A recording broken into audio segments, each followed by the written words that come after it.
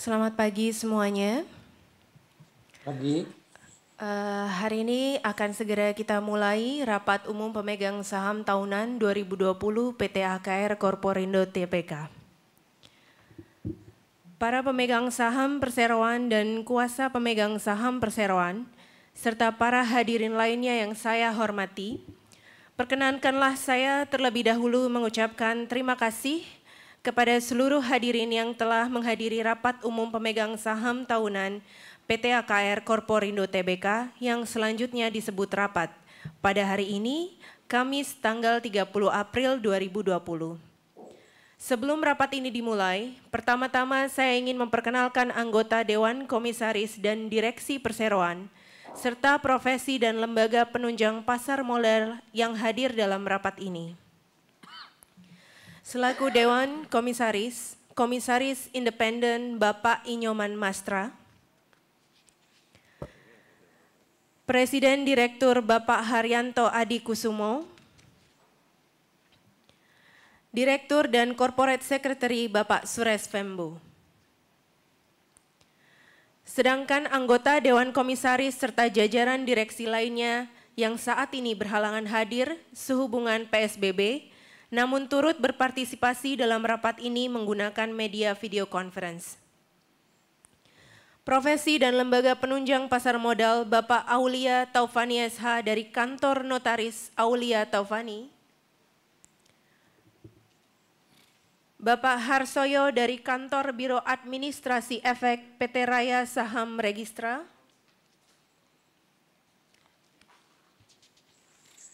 Sedangkan profesi penunjang pasar modal lainnya yang berhalangan hadir sehubungan PSBB namun turut berpartisipasi rapat melalui video conference adalah konsultan hukum Bapak Iwan Setiawan SH dari Marcus dan Partners Law Firm, Ibu Feniwati Cendana dari Kantor Akuntan Publik Purwantono Sungkoro and Surya, a member firm of Ernst Young Global Limited, para pemegang saham dan kuasa pemegang saham, serta para hadirin lainnya yang saya hormati, terlebih dahulu saya akan membacakan pokok-pokok tata tertib rapat ini. Namun perlu saya jelaskan di sini bahwa lembaran yang berisi tata tertib rapat ini telah kami upload pada website perseroan dan telah pula dibagikan kepada para pemegang saham dan kuasa pemegang saham sebelum memasuki ruang rapat. Tata tertib rapat umum pemegang saham tahunan PT AKR Korporindo Tbk, Kamis 30 April 2020. 1. Rapat ini akan diselenggarakan dalam bahasa Indonesia sebagai langkah preventif dan atau pencegahan penyebaran COVID-19 Perseroan menghimbau pemegang saham mengikuti arahan pemerintah Republik Indonesia dengan melakukan social dan physical distancing. Pimpinan rapat. Rapat akan dipimpin oleh seorang anggota komisaris yang ditunjuk oleh Dewan Komisaris. Pimpinan rapat berhak memutuskan prosedur rapat yang belum diatur atau belum cukup diatur dalam tata tertib ini. Quorum kehadiran rapat Rapat dapat dilangsungkan apabila dihadiri oleh pemegang saham yang mewakili lebih dari satu per dua bagian dari jumlah seluruh saham dengan hak suara yang sah yang telah dikeluarkan perseroan sebagaimana diatur dalam pasal 12 ayat 2 Anggaran Dasar Perseroan, pasal 86 ayat 1 Undang-Undang Nomor 40 Tahun 2007 tentang perseroan terbatas dan pasal 26 ayat 1 Peraturan OJK nomor 32 tahun 2014. 4. Hak suara.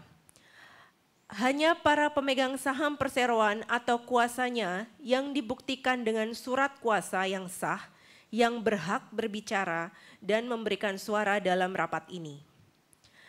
Tiap saham memberi hak kepada pemegangnya untuk mengeluarkan satu suara Apabila seorang pemegang saham memiliki lebih dari satu saham, maka ia hanya diminta untuk memberikan suara satu kali dan suaranya itu mewakili seluruh saham yang dimilikinya atau diwakilinya. Pemegang saham atau kuasa pemegang saham mempunyai hak untuk memberikan suara setuju, suara tidak setuju, atau suara abstain blanko terhadap setiap mata acara rapat. Suara abstain dianggap mengeluarkan suara yang sama dengan suara mayoritas pemegang saham yang mengeluarkan suara.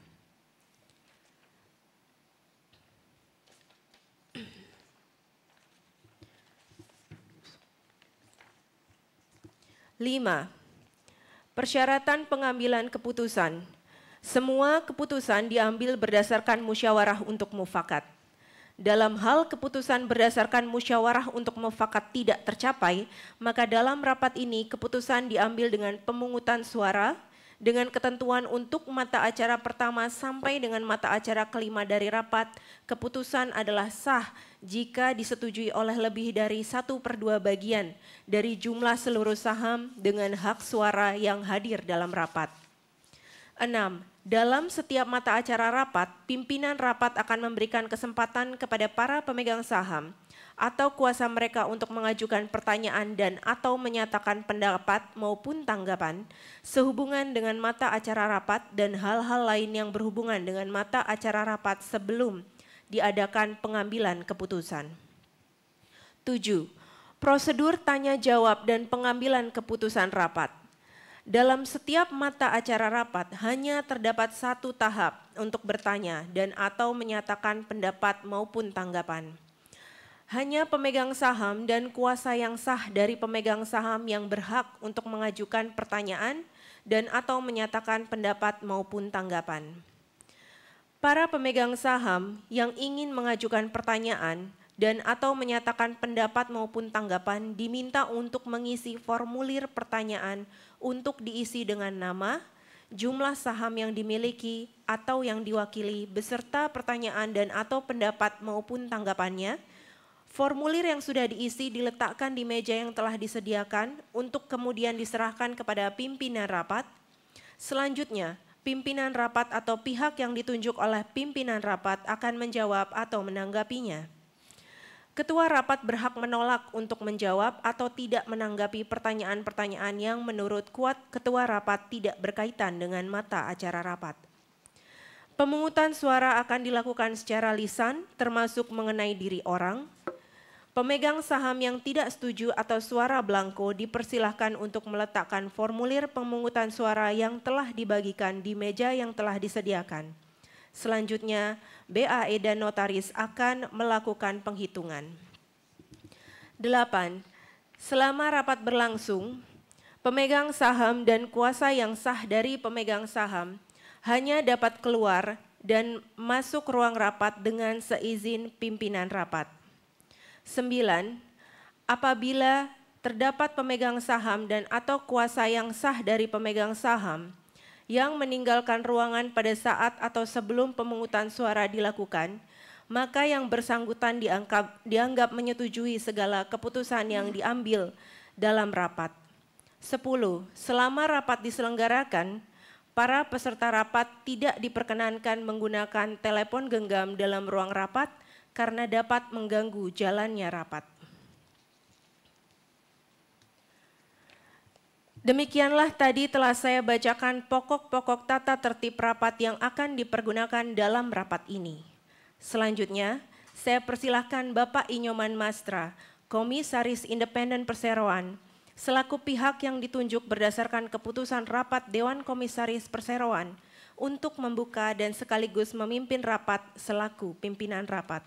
Kepada Bapak Inyoman Mastra, kami persilahkan. Terima kasih.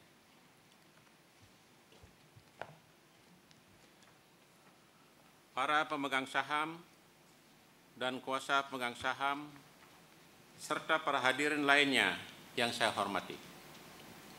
Saya menyampaikan terima kasih dan penghargaan atas kesediaan para hadirin untuk menghadiri rapat ini. Berdasarkan keputusan rapat Dewan Komisaris Perseroan tanggal 17 Maret tahun 2020, saya ditunjuk selaku pimpinan rapat. Selanjutnya, rapat ini secara resmi saya buka pada pukul 18 menit waktu Indonesia Barat.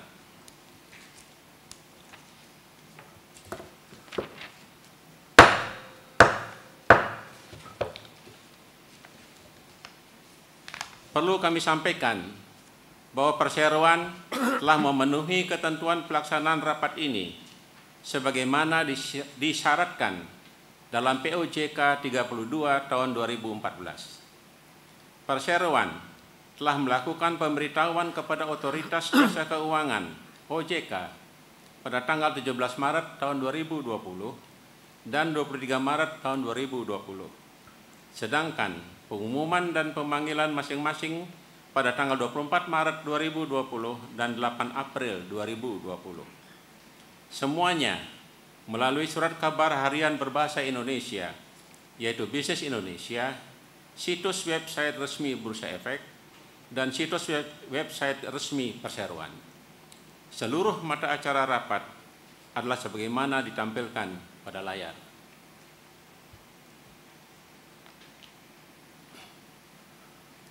Mempertimbangkan kondisi darurat COVID-19 berdasarkan keputusan Presiden nomor 11 tahun 2020 dan dengan memperhatikan surat OJK nomor S strip 92 garing D titik 04 garing 2020 tanggal 18 Maret 2020 rapat akan dilakukan seefisien mungkin tanpa mengurangi keabsahannya dengan tetap memperhatikan peraturan perundang-undangan yang berlaku.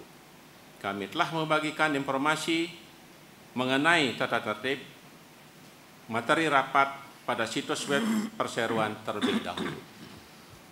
Perlu disampaikan bahwa OJK telah menerbitkan peraturan OJK nomor 15 garing POJK titik 04 garing 2020 berlaku efektif sejak tanggal 21 April 2020, selanjutnya disebut dengan POJK 15 garing 2020, di mana perseroan diwajibkan untuk menyediakan alternatif pemberian kuasa secara elektronik bagi pemegang saham untuk hadir dan memberikan suara dalam rapat.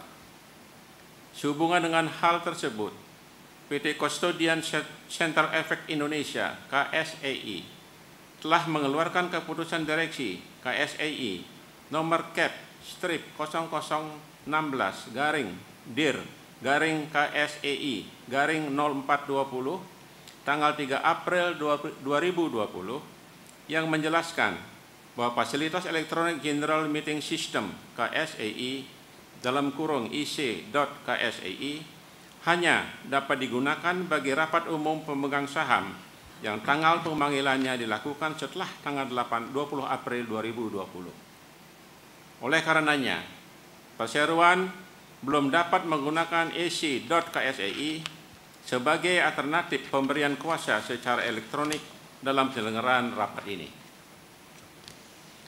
Kemudian, saya akan menanyakan kepada notaris yang akan membuat berita acara rapat ini tentang berapakah jumlah pemegang saham dan atau kuasa pemegang saham yang hadir dan atau terwakili dalam rapat ini dan apakah sudah memenuhi ketentuan quorum tersebut. Eh, persilakan.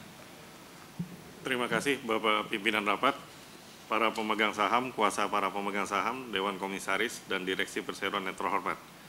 Di dalam rapat ini telah hadir dan atau diwakili para pemegang saham atau kuasa pemegang saham yang memiliki sebanyak 3 miliar 334 juta 694.137 saham atau sama dengan 83,062 persen dari jumlah keseluruhan saham perseroan dengan hak suara yang sah sampai dengan tanggal rapat ini.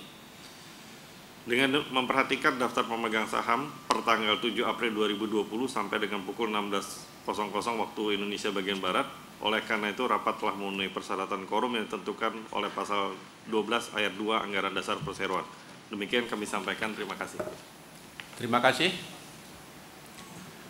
Seperti telah dinyatakan oleh notaris, rapat telah memenuhi korum yang disyaratkan Anggaran Dasar Perseroan. Oleh karena itu, rapat akan saya lanjutkan.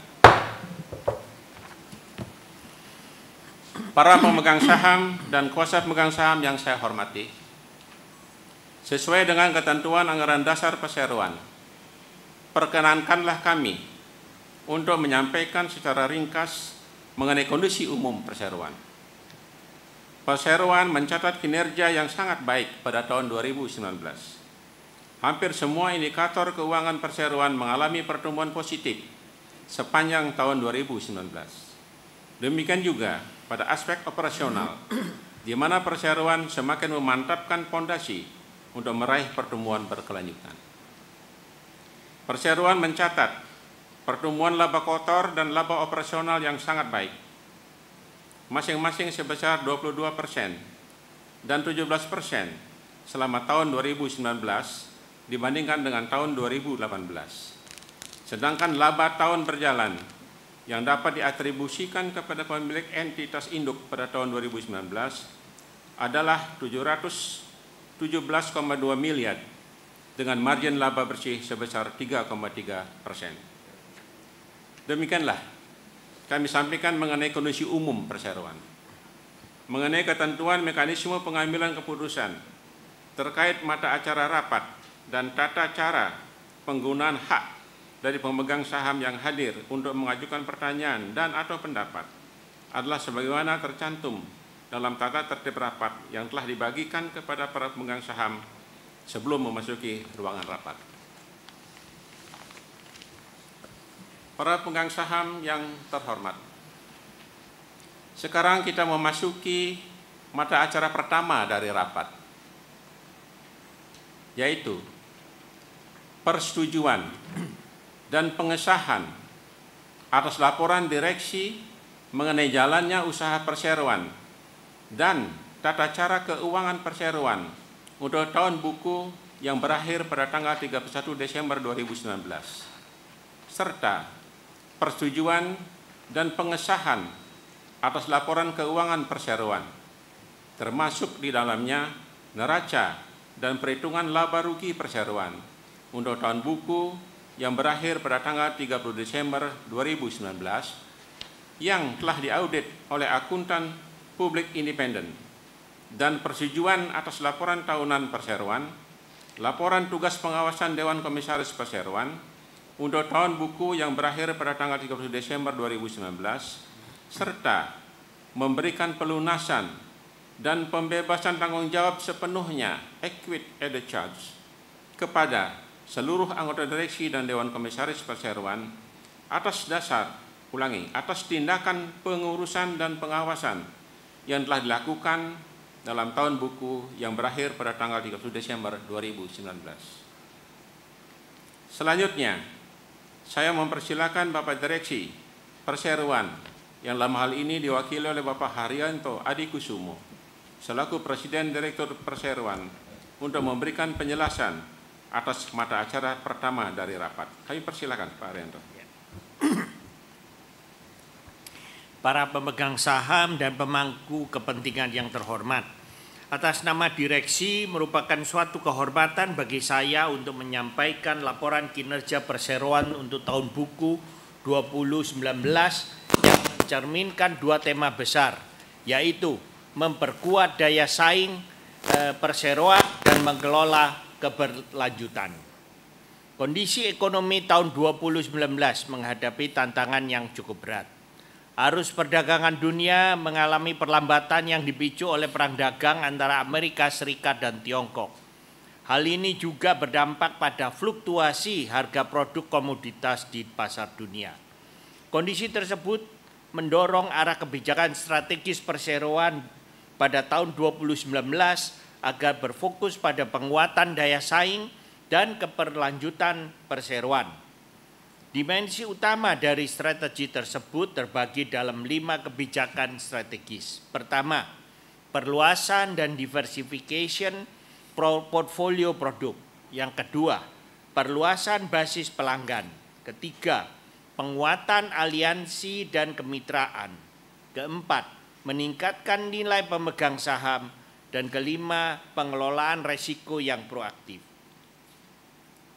Pada strategi yang pertama, AKR melakukan perluasan dan diversifikasi portfolio produk untuk meningkatkan basis pendapatan perseroan serta mendukung pertumbuhan yang berkelanjutan di masa depan serta pelestarian lingkungan.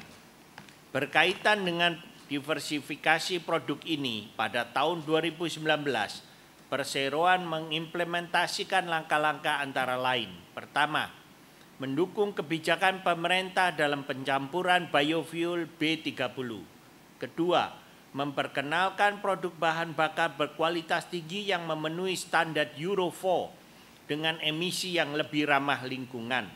Ketiga, penambahan jumlah pelanggan di Java Integrated Industrial Port Estate yang salah satunya adalah Project Smelter Freeport. Keempat, memasuki bisnis bahan bakar penerbangan secara selektif. Yang kelima, perluasan kapasitas tangki penyimpanan untuk mengakomodasi peningkatan permintaan BBM dan juga biofuel. Terkait dengan perluasan basis pelanggan selama tahun 2019, JP telah menjual lahan kepada tiga pelanggan baru dan juga pelanggan utama yaitu Freeport Indonesia yang telah menandatangani perjanjian sewa jangka panjang atas lahan seluas 103 hektar untuk membangun proyek peleburan tembaga di Cipe. Pembangunan smelter yang diusulkan tersebut diharapkan akan semakin meningkatkan daya tarik para pelanggan untuk berinvestasi di Cipe.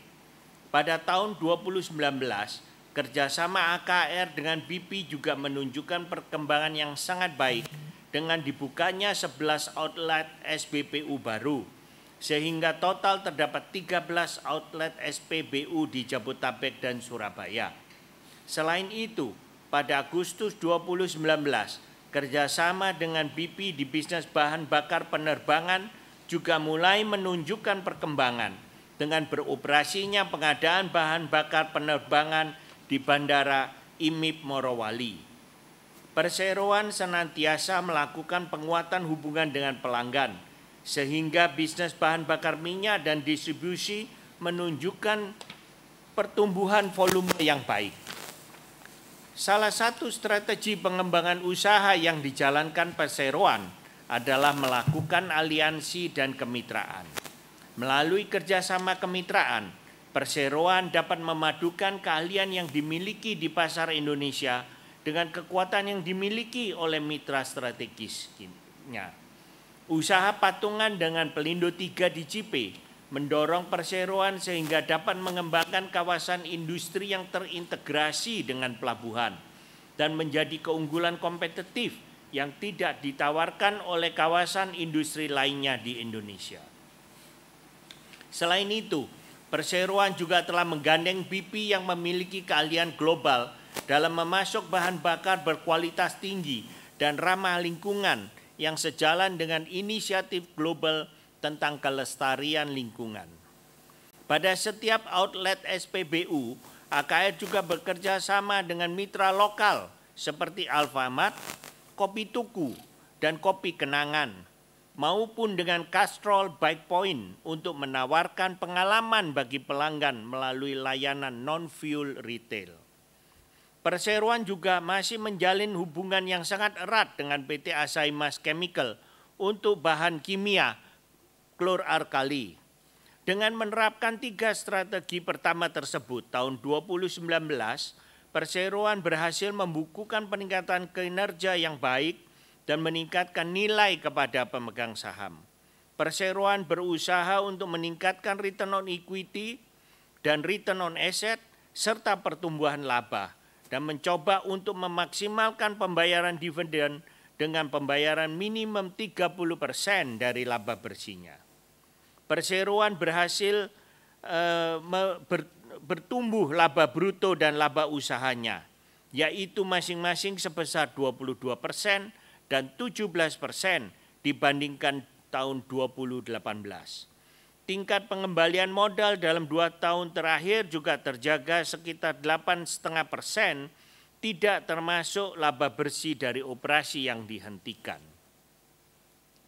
Selain itu, perseroan juga mencatat pertumbuhan aset sebesar 7 persen menjadi 21,4 triliun, terdiri dari 26 persen di antaranya adalah inventaris tanah dan 25 persen dari aktiva bersih.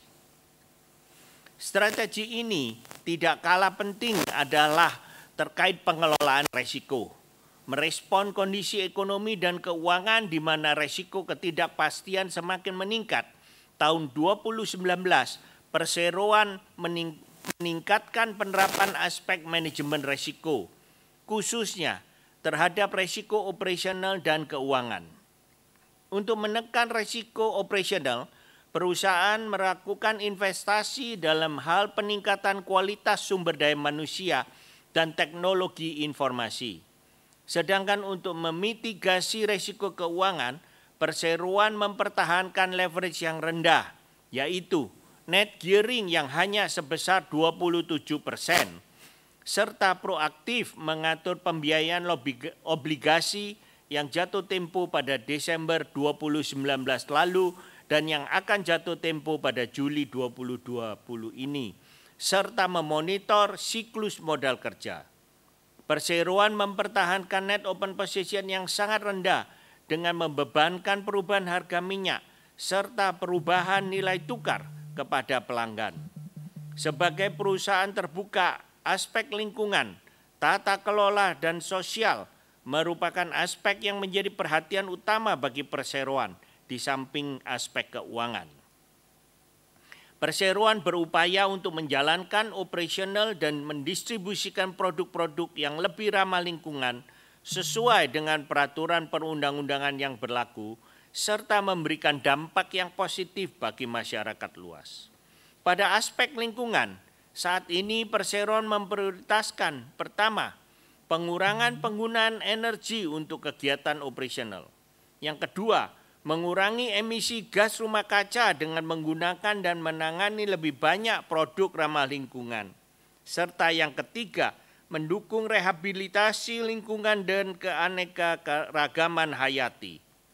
Perusahaan telah berpartisipasi dalam menggunakan material lama ramah lingkungan melalui dukungan atas kebijakan pemerintah pada pendistribusian B30 yang mengandung 30% FAME yang merupakan turunan dari produk minyak kelapa sawit untuk hampir seluruh pelanggan industri. Partisipasi ini terus dilakukan di sepanjang tahun 2019. Dengan adanya kandungan minyak nabati, perseroan percaya pencampuran biodiesel lebih ramah lingkungan dan mengurangi ketergantungan BBM berbasis fosil. Dari aspek tata kelola, Perusahaan terus meningkatkan penerapan prinsip tata kelolaan perusahaan yang baik. Organ tata kelola perusahaan telah menjalankan fungsinya sebagaimana diatur dalam Undang-Undang Nomor 40 Tahun 2007 tentang perseroan terbatas. Dari aspek sosial, perseroan memberikan perhatian yang besar terhadap karyawan dan masyarakat. Perseroan mengembangkan hubungan industrial yang baik dengan karyawan melalui pemenuhan hak-hak normatif karyawan sebagaimana diatur dalam Undang-Undang Nomor 13 Tahun 2003 tentang ketenaga kerjaan. Selain itu, aspek keselamatan dan kesehatan kerja juga menjadi fokus dan perhatian besar bagi perseroan. Dengan bisnis inti perdagangan dan distribusi BBM dan kimia dasar, perseroan mendorong penerapan K3 pada setiap aspek terutama kepada karyawan yang berkaitan langsung dengan kegiatan operasional di lapangan. Perseroan secara aktif membangun safety awareness bagi seluruh insan AKR tentang pentingnya keselamatan saat bekerja. Penjualan dan pendapatan konsolidasi perusahaan pada tahun 2019 mencapai sebesar 21,7 triliun rupiah ini lebih rendah 8 persen dibandingkan tahun 2018 dikarenakan eh, harga-harga eh, minyak yang lebih rendah dari target anggaran. Tidak tercapainya target pendapatan dipengaruhi oleh beberapa faktor, termasuk harga jual rata-rata yang lebih rendah, selain produk BBM juga produk bahan-bahan kimia. penangguhan pasokan solar bersubsidi dari Mei hingga Desember 2019 dan permintaan yang lebih rendah dari pelanggan utama di segmen listrik serta perlambatan sementara permintaan di sektor pertambangan tembaga. Dengan model bisnis AKR yang berfokus pada optimalisasi margin, meskipun dengan pendapatan yang lebih rendah, perseroan mampu membukukan peningkatan laba bruto dan laba usaha yang kuat masing-masing sebesar 22 persen dan 17 persen, serta meningkatkan margin laba bruto sebesar 8,7 persen lebih tinggi dibandingkan tahun 2018 yang hanya sebesar 6,6 persen. Laba perseroan dari operasi yang dilanjutkan selama tahun 2019 mencapai 717 miliar, sedikit lebih tinggi dari yang dibukukan selama 2018.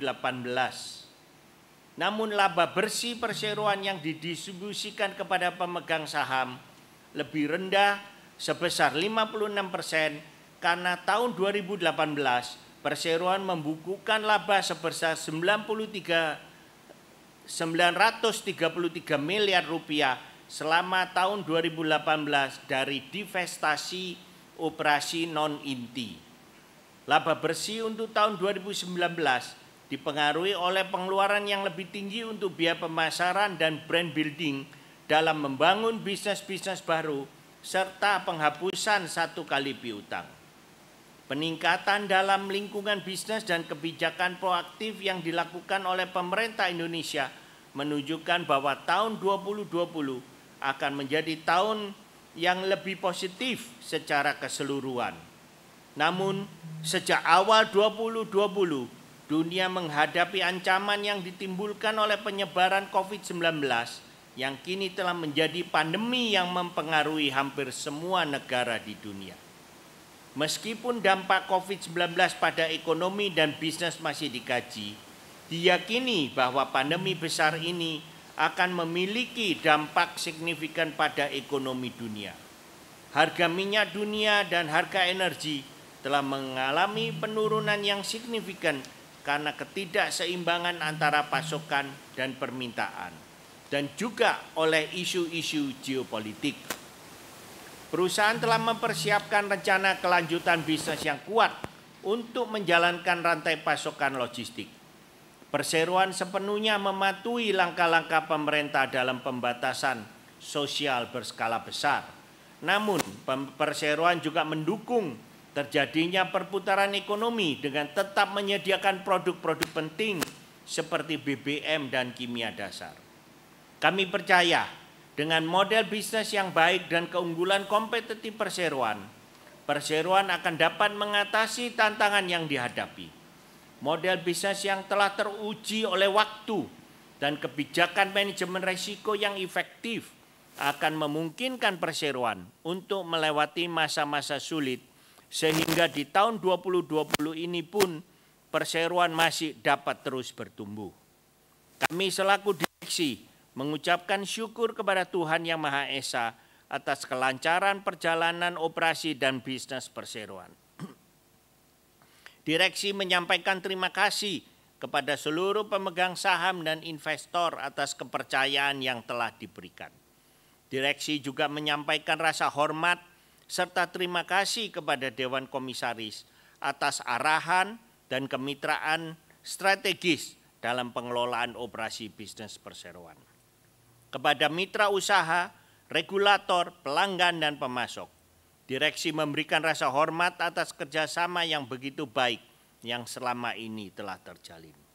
Kepada seluruh pemangku kepentingan AKR, direksi menyampaikan apresiasi setinggi-tingginya atas dedikasi dan kerja keras yang telah diberikan sepanjang tahun 2019 ini. Seluruh kerja keras dan kerja cerdas ini akan menjadi fondasi bagi perseroan untuk dapat mengoptimalkan potensinya dan meraih kinerja yang lebih baik di masa yang akan datang. Demikian kami sampaikan, selanjutkan selanjutnya acara kami serahkan kembali kepada pimpinan rapat. Terima kasih. Terima kasih Pak Haryanto. Para pemegang saham dan kuasa pemegang saham yang saya hormati. Demikianlah penjelasan direksi atas acara pertama dari rapat. Dan perlu saya tambahkan bahwa penjelasan dan atau laporan direksi secara lengkap mengenai jalannya usaha perseroan dan tata usaha keuangan perseroan untuk tahun buku yang berakhir pada tanggal 31 Desember 2019 serta laporan tugas pengawasan Dewan Komisaris Perseroan selama tahun buku 2019 telah dimuat dalam laporan tahunan 2019 yang telah diupload pada website Perseroan. Laporan keuangan Perseroan tahun buku 2019 yang terdiri dari neraca dan laporan laba rugi konsolidasi Perseroan tahun buku 2018 serta penjelasan atas dokumen tersebut telah diaudit oleh Kantor Akuntan Publik Purwantoro Sungkoro dan Surya a member firm of Ernst Young Global Limited, dengan pendapat wajar dalam semua hal yang material, sebagaimana dinyatakan dalam laporannya tertanggal 17 Maret 2020, nomor 00246 garing 2 titik 1032 garing AU titik 1 garing 05 garing 0694 strip 1 garing 1 garing 3 Romawi garing 2020. Selanjutnya, saya atas nama Dewan Komisaris Perseroan menyampaikan beberapa hal pokok mengenai laporan tugas pengawasan Dewan Komisaris Perseroan selama tahun buku 2019. Para pemegang saham dan pemangku kepentingan yang terhormat. Puji syukur kami panjatkan kehadirat Tuhan Yang Maha Esa yang telah melimpahkan rahmat dan karunia-Nya kepada kita semua sehingga PT AKR Korporindo Tbk dapat melalui tahun 2019 dengan capaian kinerja yang baik. Suatu kehormatan bagi saya mewakili Dewan Komisaris untuk menyajikan laporan pengawasan terhadap kinerja perseroan tahun buku 2019. Sepanjang tahun Dewan Komisaris telah melakukan tugas pengawasan dan pemberian nasihat kepada direksi dengan itikat baik bertanggung jawab, dan penuh kehati-hatian demi kepentingan perseroan. Dalam melaksanakan tugas dan fungsinya, Dewan Komisaris melakukannya secara independen, berpedoman kepada ketentuan anggaran dasar perseroan dan peraturan perundangan yang berlaku, serta penerapan prinsip-prinsip tata kelola perusahaan yang baik. Di tengah lingkungan bisnis yang menantang, direksi telah menjalankan langkah-langkah strategis yang berfokus pada pengoptimalan keunggulan perseroan. AKR terus memperkuat lini bisnis yang selama ini telah menjadi kekuatan utama bagi perseroan dan terus melakukan inovasi dan diversifikasi portofolio produk sebagai langkah menciptakan sumber pendapatan yang baru. Langkah-langkah yang dijalankan direksi tersebut juga masih sejalan dengan strategi jangka menengah dan jangka panjang yang telah ditetapkan perseroan. Tahun 2019, Perseroan membukukan pendapatan sebesar 21,7 triliun, lebih rendah 8 persen dibandingkan dengan tahun sebelumnya. Namun demikian, Perseroan mencatat pertumbuhan laba kotor dan laba operasional yang sangat baik, masing-masing sebesar 22 persen dan 17 persen selama tahun 2019. Dibandingkan dengan tahun 2018, sedangkan laba tahun berjalan yang dapat diatribusikan kepada pemilik entitas induk pada tahun 2019 adalah 717,2 miliar dengan margin laba bersih sebesar 3,3 persen. Dengan pencapaian kinerja tersebut, Dewan Komisaris menilai direksi telah melaksanakan tugas kepengurusan perseroan dengan baik. Dalam menilai kinerja direksi, Dewan Komisaris melihat kinerja operasional dan finansial perseroan sebagai aspek penilaian. Perseroan telah menetapkan sejumlah kriteria, ulangi sejumlah rencana dan kebijaksanaan strategis sejalan dengan proses transformasi yang telah dijalankan sejak tahun 2017. Dewan Komisaris memberikan perhatian yang besar terhadap implementasi strategi yang dijalankan direksi dan kesesuaiannya dengan rencana jangka menengah dan jangka panjang yang dilakukan perseroan.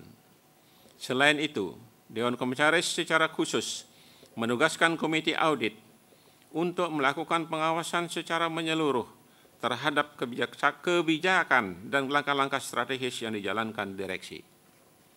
Dewan Komisaris juga secara berkala melakukan review terhadap perkembangan kinerja, perseroan melalui laporan-laporan yang disampaikan direksi. Tatkala dirasa perlu, Dewan Komisaris dapat meminta penjelasan direksi dan melakukan pertemuan dengan divisi terkait. Tahun 2020 menjadi tahun yang sangat menantang bagi perseroan. Direksi telah menyampaikan prospek bisnis beserta target-target yang hendak dicapai perseroan. Namun, dalam perkembangannya, Indonesia dan hampir seluruh negara di dunia diserang oleh pandemi COVID-19. Kondisi ini membuat berbagai prediksi ekonomi dan bisnis mengalami perubahan yang sangat besar. Dewan Komisaris menilai dalam kondisi ini, selain tetap fokus dalam mengejar target pertumbuhan, perseroan harus meningkatkan aspek manajemen risiko. Dewan Komisaris merekomendasikan pemantauan ketat terhadap faktor ekonomi makro, harga komoditas, siklus modal kerja, risiko piutang dagang, dan sistem likuiditas perseroan. Dewan Komisaris akan mendorong direksi untuk meningkatkan penjualan lahan industri dan perkembangan infrastruktur di JP. Dewan Komisaris memandang bahwa JP memiliki peluang untuk menjadi kawasan industri yang besar karena telah didukung oleh berbagai fasilitas untuk mendukung kegiatan bisnis para penyewa.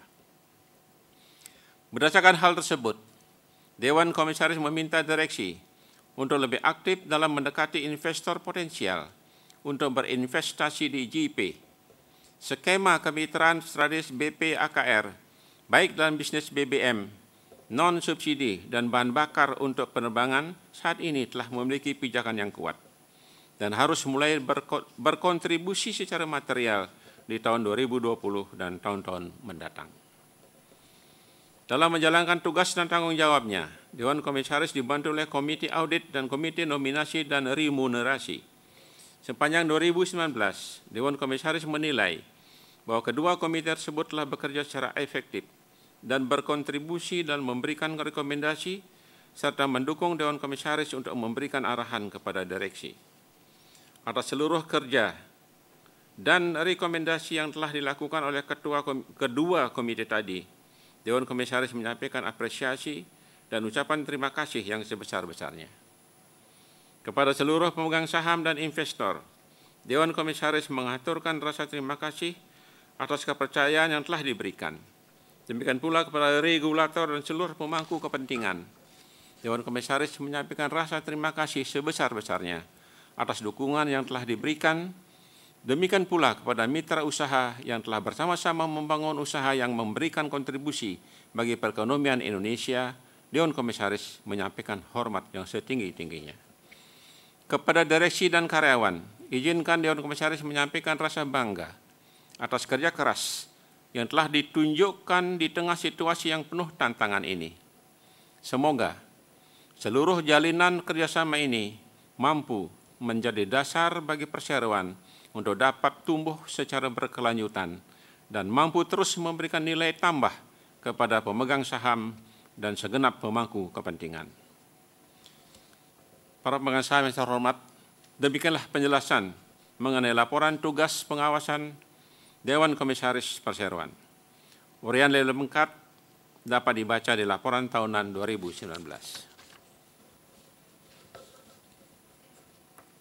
Yang terhormat, para pemegang saham perseroan dan kuasa pemegang saham serta para hadirin lainnya yang saya hormati.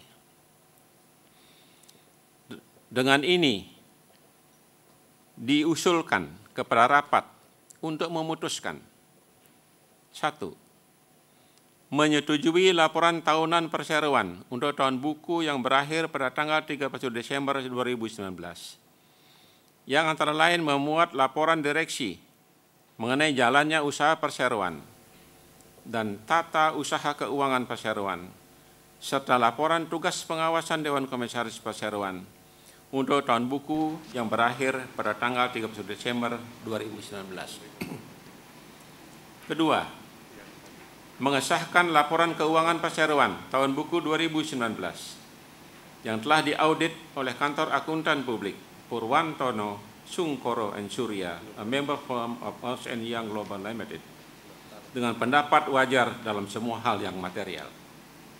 Sebagaimana ternyata dari laporannya tertanggal 17 Maret 2020 nomor 00246 garing 2 titik 1032 garing AU titik 1 garing 05 garing 0694 strip 1 garing 1 garing 3 Romawi garing 2020 ketiga memberikan pelunasan dan pembebasan tanggung jawab sepenuhnya. Politik Equit Edit Charge. Kepada segenap anggota direksi dan anggota Dewan Komisaris Perseroan atas tindakan pengurusan dan pengawasan yang telah mereka jalankan selama tahun buku 2019 sepanjang tindakan-tindakan mereka tersebut termasuk tindakan-tindakan yang berkaitan dengan kegiatan usaha yang merupakan turunan dari kegiatan usaha utama perseroan dan tercermin dalam laporan keuangan perseroan untuk tahun buku yang berakhir pada tanggal 31 Desember 2019 serta dengan mengingat laporan direksi perseroan untuk tahun buku yang berakhir pada tanggal 30 Desember 2019 tersebut. Selanjutnya kita memasuki acara tanya jawab. Apakah ada pertanyaan atau tanggapan terkait mata acara pertama dari rapat? Apabila ada, dipersilakan mengajukan sesuai dengan tata tertib yang ada. Ini persilakan. Ada Pak. Persilakan. Kita dari notaris menerima surat kuasa yang diberikan oleh e, pemberi kuasa kepada BAE. Saya bacakan pertanyaannya Pak. Pemberi kuasa Tuan atau Chong Dewi Mariani untuk mata acara pertama perihal penurunan harga minyak dunia apakah akan mengganggu kinerja terus di tahun 2020? Apakah akan mempengaruhi pendapatan terus di tahun 2020? Demikian pertanyaan untuk mata acara pertama. Baik, saya persilakan Pak Haryanto untuk memberikan jawaban. Uh, mungkin yang pertama-tama saya ingin jelaskan bahwa AKR eh, business model adalah kita mendistribusikan BBM hilir. Dan yang kedua, eh, kita menjual produk BBM kami berdasarkan formula daripada MOPS atau Mid Oil Plus of Singapore. Dan harga minyak akan kita rubah setiap bulan dua kali yaitu tanggal 1 dan tanggal 15 tiap bulannya. Sehingga eh, dengan bisnis model kita yang menggunakan formula MOP yang kita pass through kepada customer, maka eh, perusahaan tidak eh, mengambil resiko dalam hal volatilitas atau kenaik turunan harga minyak. Kenapa? Karena selama harga yang kita beli eh, dijual di periode yang sama maka semuanya itu akan match sehingga eh, eh, tidak ada atau tidak signifikan dampak terhadap eh, volatilitas eh, harga minyak. Itu sebabnya di dalam 16 tahun pengalaman kami eh, mendistribusikan minyak kita sudah pernah lihat harga minyak yang sekarang ini antara 10 dolar sampai harga minyak yang 160 dolar perusahaan masih tetap bertumbuh dan profit kami masih tetap bertumbuh. Jadi ini merupakan salah satu bisnis model kami yang tidak mengambil resiko terhadap volatilitas harga minyak. Yang kedua, eh, tahun ini memang selain harga minyak rendah yang mana tadi sudah dijelaskan tidak terlalu banyak dampak terhadap perusahaan kita karena menggunakan formula MOPS tadi.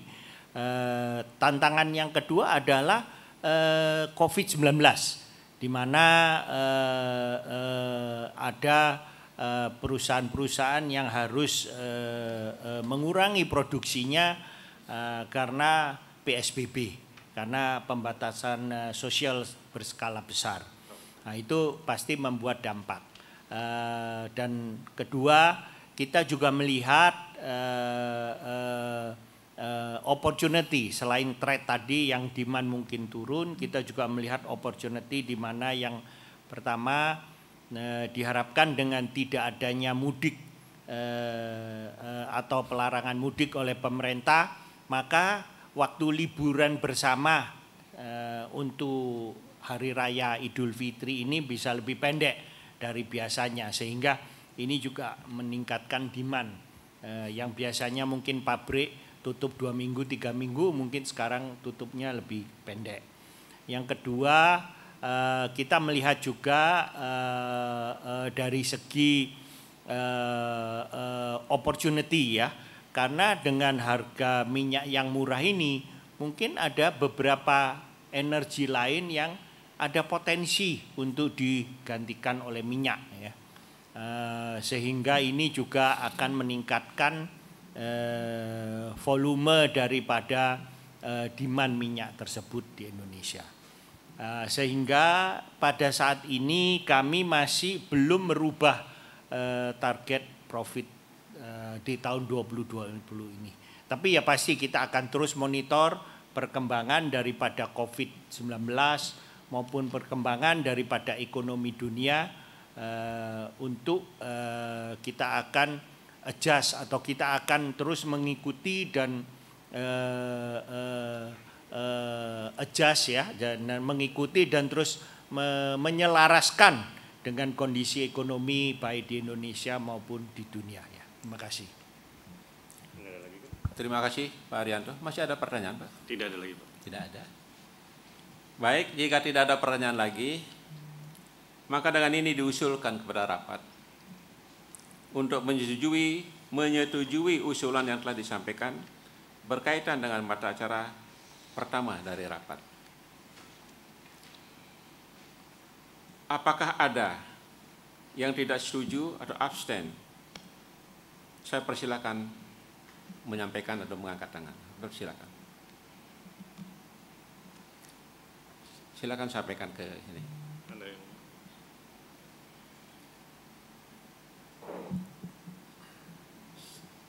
Sampaikan ke sana, Pak.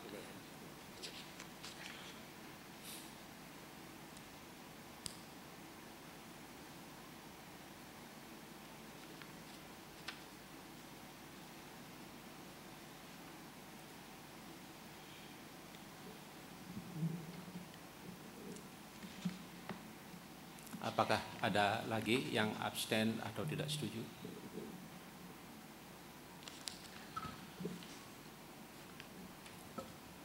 Kalau tidak ada lagi,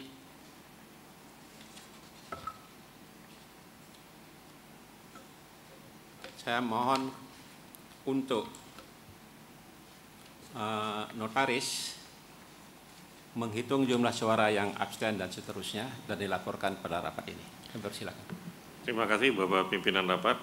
Untuk mata acara pertama ini terdapat sebanyak 2.540.710 saham memberikan suara abstain. Selanjutnya tidak ada pemegang saham yang memberikan suara setuju.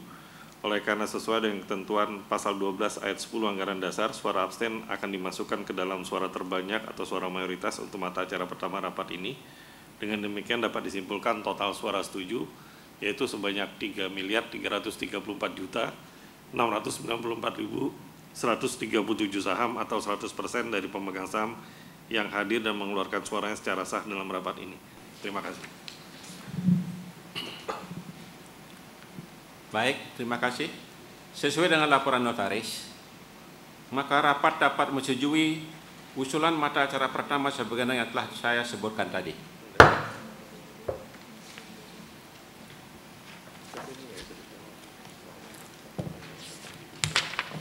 Sekarang kita memasuki mata acara kedua dari rapat, yaitu persetujuan atas rencana penggunaan laba bersih perseroan untuk tahun buku yang berakhir pada tanggal 30 Desember 31 Desember 2019.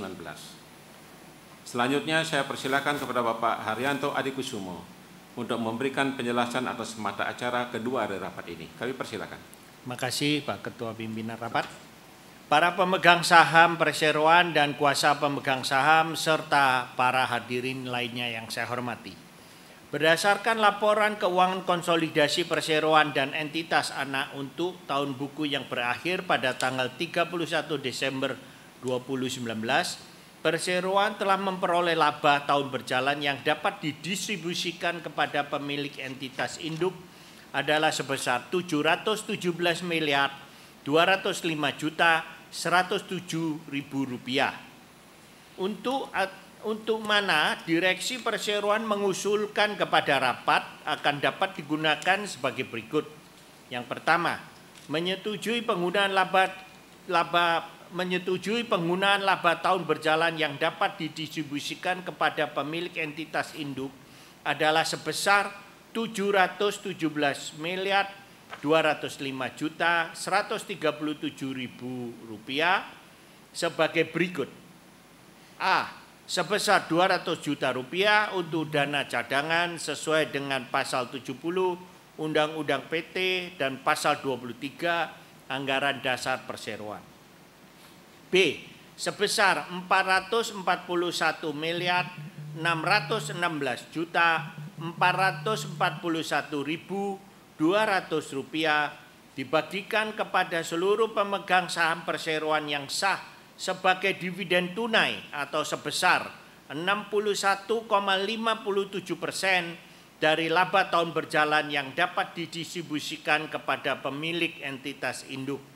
Setelah dikurangi jumlah dividen interim yang telah dibagikan sebelumnya kepada pemegang saham berdasarkan keputusan rapat direksi pada tanggal 26 Juli 2019 sebesar 240 miliar 881 juta 695 ribu 200 rupiah atau 60 rupiah per saham dengan jumlah saham yang beredar saat itu adalah 4 miliar 14 juta 694 ribu dan 920 saham.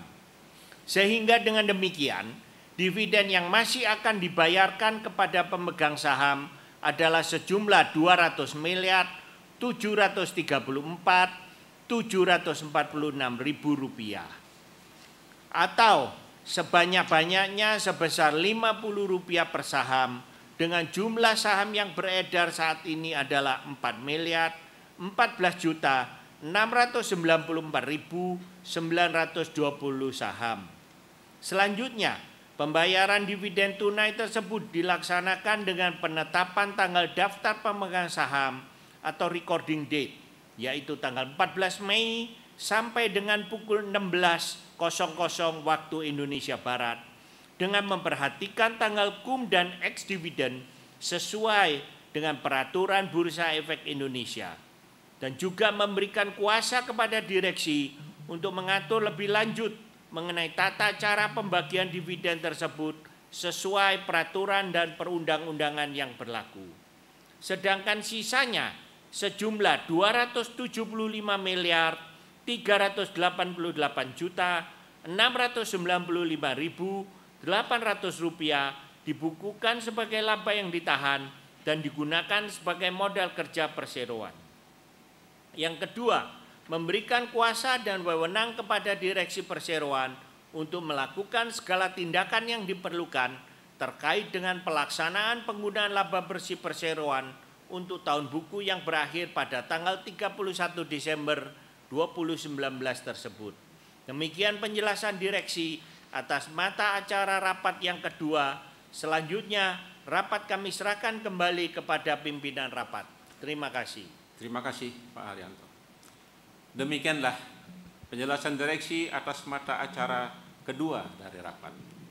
Selanjutnya, kita memasuki acara pembahasan atas pertanyaan-pertanyaan yang diajukan.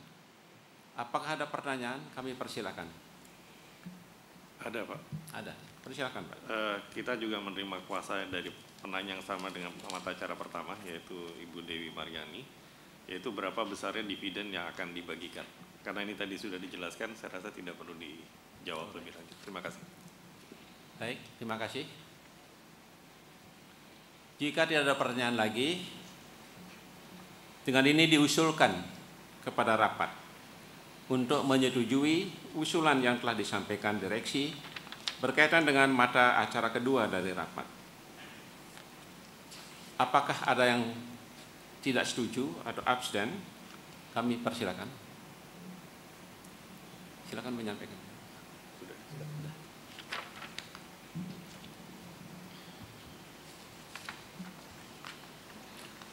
Kami persilakan notaris untuk menyampaikan uh, perhitungannya. Terima kasih. Terima kasih Bapak Pimpinan Rapat. Berdasarkan penghitungan kami untuk mata acara kedua rapat yaitu sebagai berikut. Terdapat 23.322.100 saham atau sebesar 0,699 persen memberikan suara tidak setuju. Selanjutnya sebanyak 15.400 saham memberikan suara abstain. Sesuai dengan ketentuan pasal 12 ayat 10, suara abstain akan diperhitungkan dengan suara mayoritas. Dengan demikian dapat disimpulkan bahwa total suara setuju yaitu sebanyak 3 miliar 311 juta 372 ribu 37 saham atau sebesar 99,301 persen dari seluruh pemegang saham yang mengeluarkan suara secara sah dalam rapat ini. Dengan demikian dapat disimpulkan rapat menyetujui dengan suara terbanyak atas usulan untuk mata acara kedua. Terima kasih. Baik, terima kasih. Sesuai dengan laporan notaris, maka rapat dapat menyetujui usulan mata acara kedua sebagaimana yang telah saya sebutkan tadi.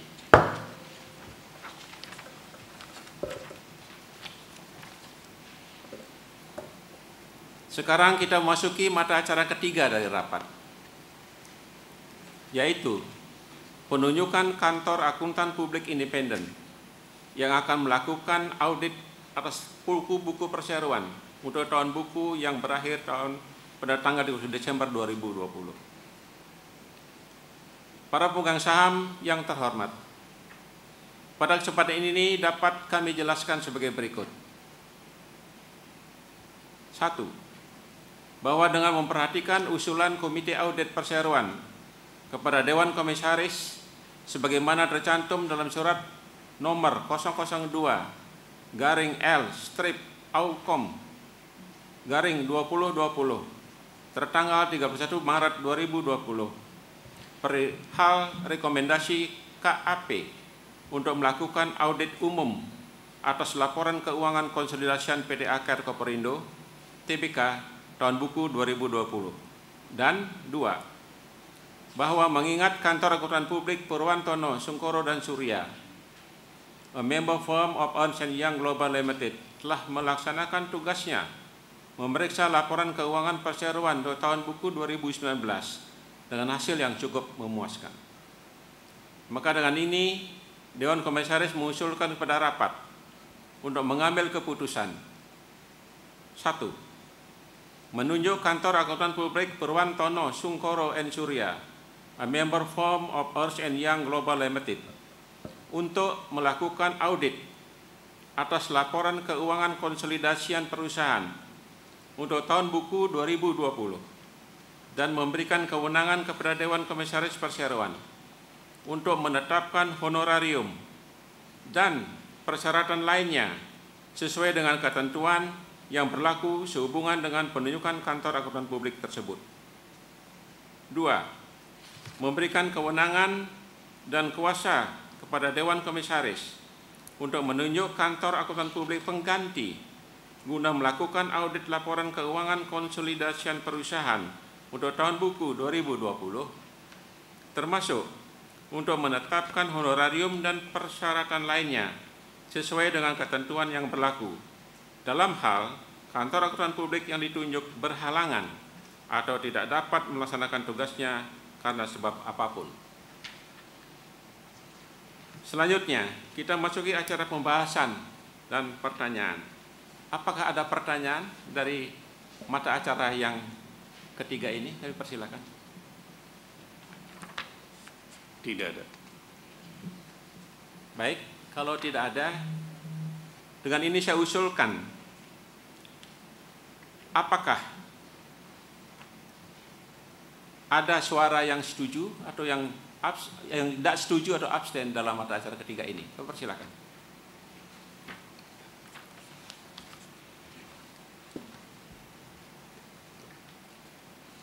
Persilakan.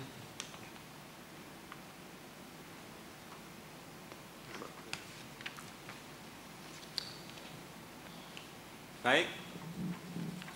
Silakan Bapak Notaris untuk memberikan perhitungannya dalam masalah ini. Terima kasih Bapak Pimpinan Rapat. Untuk mata acara ketiga rapat terdapat sebanyak 63.334.641 saham atau sebesar 1,899 persen memberikan suara tidak setuju. Selanjutnya sebanyak 17.380.200 saham memberikan suara abstain. Sesuai dengan ketentuan pasal 12 ayat 10 Anggaran Dasar Perseroan, suara abstain akan diperhitungkan dengan suara mayoritas. Dengan demikian dapat disimpulkan total suara setuju yaitu sebanyak 3 miliar 271 juta 359.496 saham atau sebesar 98,101 persen dari seluruh pemegang saham yang menggunakan hak suaranya dalam rapat ini. Dengan demikian dapat disimpulkan bahwa rapat menyetujui dengan suara terbanyak atas usulan untuk mata acara ketiga rapat. Terima kasih. Terima kasih Pak Notaris. Sesuai dengan laporan notaris, maka rapat dapat menyetujui usulan mata acara ketiga sebagaimana yang telah saya sebutkan tadi.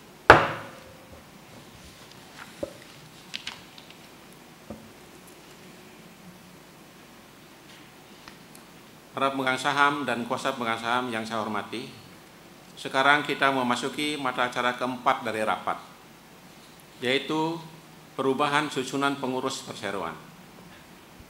Selanjutnya, saya mempersilahkan kepada Bapak Haryanto Adikusumo untuk memberikan penjelasan atas mata acara keempat dari rapat ini. Kami persilakan. Terima kasih eh, Bapak pimpinan rapat. Para pemegang saham yang terhormat, pada kesempatan ini kami dapat jelaskan sebagai berikut.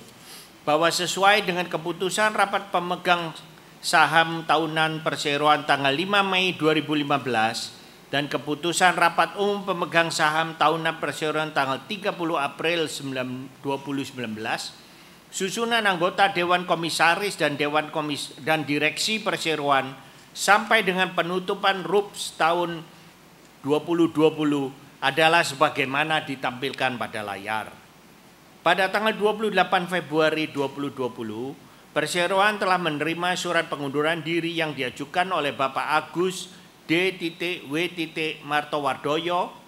Adapun alasan Bapak Agus Martowardoyo mengundurkan diri adalah beliau diangkat sebagai komisaris utama dan komisaris independen PT Bank Negara Indonesia Persero Tbk dan mengacu pada ketentuan POJK nomor 55 garing POJK titik 03 garing 2016 beliau tidak dapat merangkap jabatan sebagai direksi komisaris atau pejabat eksekutif pada lebih dari perus satu perusahaan non keuangan.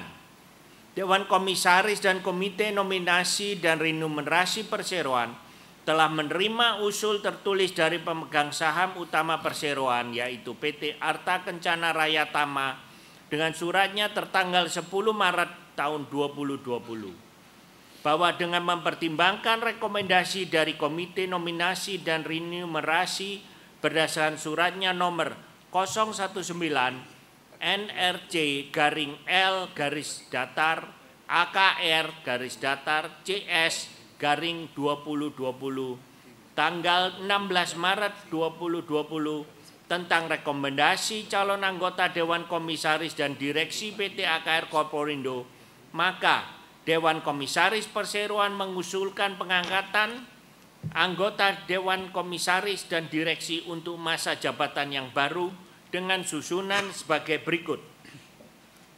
Dewan Komisaris, Presiden Komisaris Bapak Sugiarto Adikusumo, Komisaris Bapak Inyoman Mastre, Komisaris Independen Bapak Muhammad Fauzi Maulana Iksan, Direksi Presiden Direktur Bapak Haryanto Adikusumo, Direktur Bapak Jimmy Tandio, Direktur Bapak Bambang Sutiono Sudianto, Direktur Ibu Mary Sofi, Direktur Bapak Sures Wembu, Direktur Ibu Neri Polim, Direktur Ibu Termurti Tiban. Kurikulum vitae Dewan Komisaris dan Direksi telah sebagaimana telah ditampilkan pada layar telah kami upload juga di website Perseroan. Berdasarkan hal-hal tersebut, maka dengan ini direksi mengusulkan kepada rapat untuk dapat 1A menyetujui pengunduran diri Bapak Agus D. W. Martowardoyo sebagai Komisaris Perseroan efektif sejak ditutupnya rapat ini.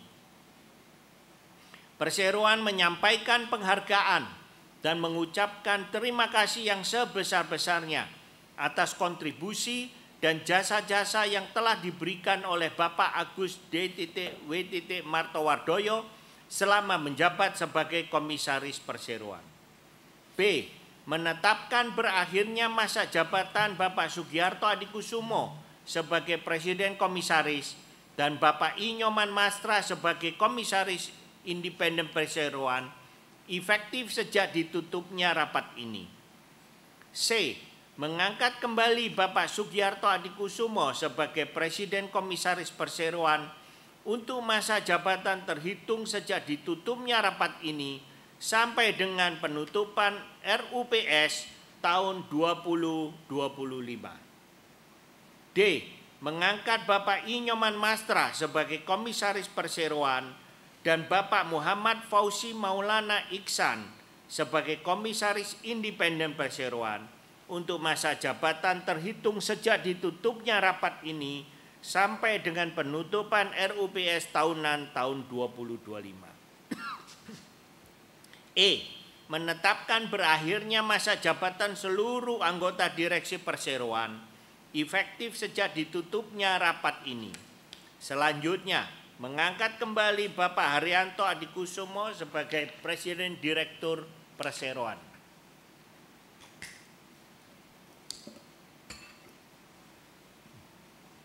Bapak Jimmy Tandio, Bapak Bambang Sutiono Sedianto, Ibu Mary Sofi, Bapak Sures Wembu, Ibu Neri Polim, dan Ibu Termurti Tiban masing-masing sebagai Direktur Perseroan untuk masa jabatan terhitung sejak ditutupnya rapat ini sampai dengan penutupan RUPS tahunan tahun 2025.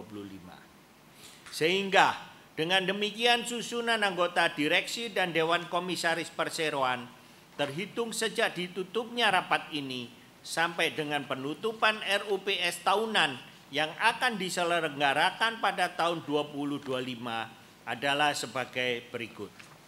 Dewan Komisaris Presiden Komisaris Bapak Sugiarto Adikusumo, Komisaris Bapak Inyoman Mastre, Komisaris Independen Bapak Muhammad Fauzi Maulana Iksan, Direksi Presiden Direktur Bapak Haryanto Adikusumo, Direktur Bapak Jimmy Tandio, Direktur Bapak Sutiono Bapak Bambang Sutiono Sudianto, Direktur Ibu Mary Sofi, Direktur Bapak Sures Wembu, Direktur, Ibu Neri Polim, Direktur, Ibu Termurti Tiban.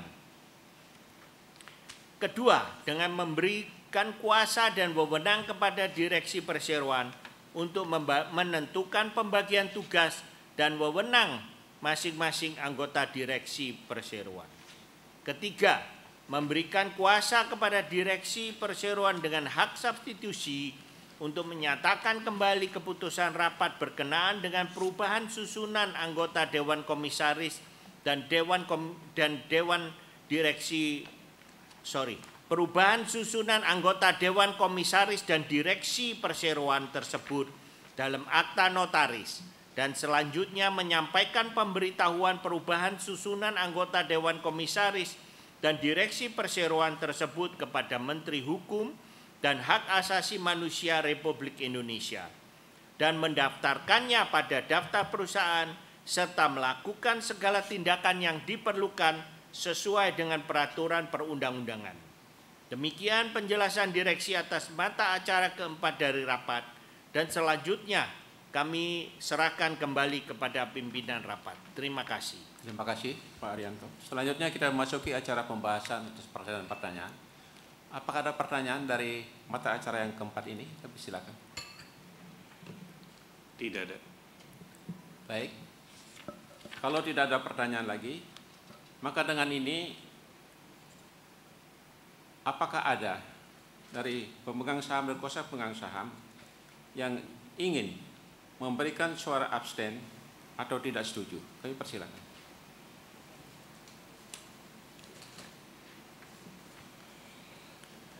Kami persilakan Bapak Notaris untuk menyampaikan. Kami persilakan. Bapak pimpinan rapat, berikut ini kami sampaikan hasil pemungutan suara untuk mata acara keempat rapat yaitu sebagai berikut. Terdapat 54.403.022 saham atau 1,6331 persen memberikan suara tidak setuju. Selanjutnya pemegang saham yang memberikan suara abstain sebanyak 26.622.200 saham Sesuai dengan ketentuan pasal 12 ayat 10 anggaran dasar perseroan, maka suara abstain akan diperhitungkan dengan suara terbanyak. Dengan demikian dapat disimpulkan total suara setuju yaitu sebanyak 3 miliar 280 juta 291 ribu 115 saham atau sebesar 98,369 persen dari seluruh pemegang saham yang mengeluarkan suara dengan sah dalam rapat ini. Dengan demikian dapat disimpulkan rapat menyetujui dengan suara terbanyak atas usulan untuk mata acara keempat rapat. Demikian kami sampaikan. Terima kasih. Baik, terima kasih Bapak Notaris. Sesuai dengan laporan Bapak Notaris, maka rapat dapat menyetujui usulan mata acara keempat sebagaimana yang telah saya sebutkan tadi.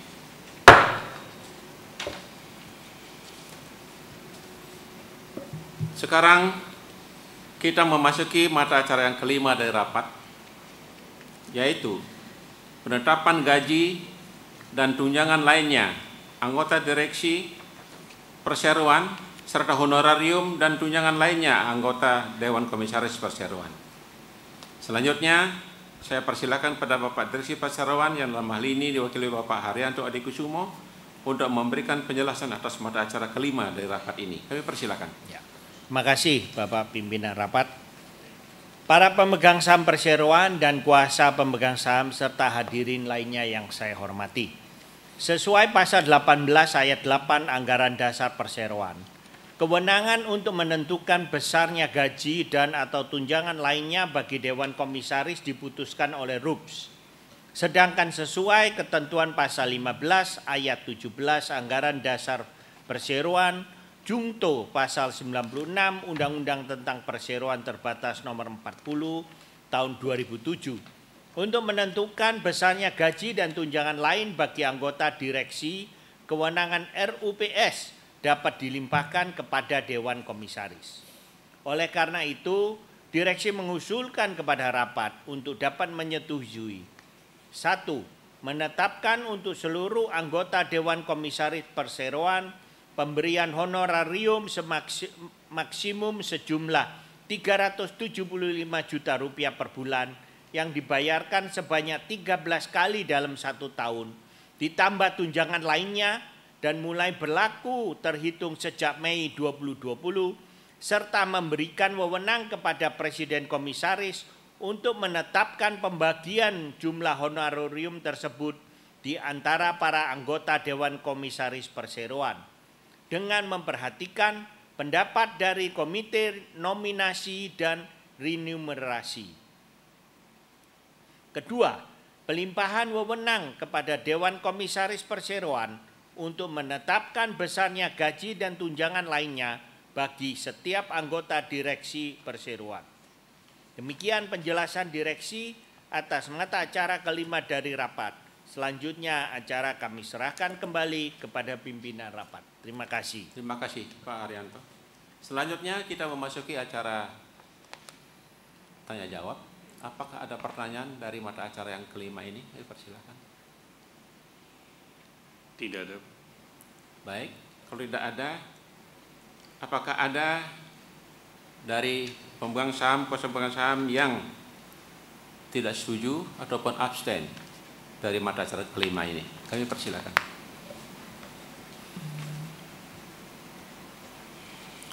Baik, kami persilakan Bapak Notaris untuk menyampaikan perhitungannya. Silakan. Terima kasih Bapak Pimpinan Rapat. Untuk mata acara kelima ini dapat kami laporkan hasilnya sebagai berikut. Terdapat 62 juta 760 1.522 saham atau 1,882 persen memberikan suara tidak setuju. Selanjutnya sebanyak 15.400 saham memberikan suara abstain. Sesuai dengan ketentuan pasal 12 ayat 10 Anggaran Dasar Perseroan, suara abstain akan dimasukkan pada suara mayoritas sehingga dapat disimpulkan total suara setuju yaitu sebanyak 3 miliar 271 juta 933.615 saham atau sebesar 98,118 persen dari seluruh pemegang saham yang mengeluarkan secara sah dalam rapat ini. Dengan demikian dapat disimpulkan rapat menyetujui dengan suara terbanyak atas usulan untuk mata acara kelima rapat. Terima kasih. Terima kasih Bapak Notaris. Sesuai dengan laporan notaris, maka rapat dapat menyetujui usulan mata acara kelima sebagaimana yang telah saya tetapkan tadi, saya sebutkan tadi. Para pemegang saham dan kuasa pemegang saham serta para hadirin yang saya hormati, dengan selesainya pembahasan mengenai semua mata acara rapat dan telah diperolehnya keputusan dari rapat ini, maka dengan mengucapkan terima kasih atas kehadiran para pemegang saham dan kuasa pemegang saham khususnya, serta para hadirin lainnya. Dengan ini, rapat saya tutup secara resmi pada pukul 11.29 waktu Indonesia Barat. Terima kasih.